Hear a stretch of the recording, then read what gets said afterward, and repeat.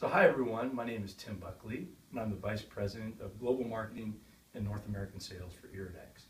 When I assess uh, PR agencies, I rank them on three points. Number one is execution. Can we develop a strategy timely at the beginning of the year?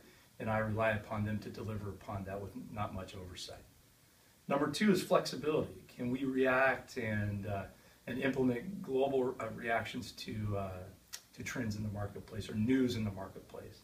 And finally, the age-old adage, people do business with people they like. And I've really liked working with Pascale. I'd offer my, my, you my highest recommendation for them, and I certainly appreciate my, uh, my workings with them. So happy holidays, everyone, and we'll see you at the Congress.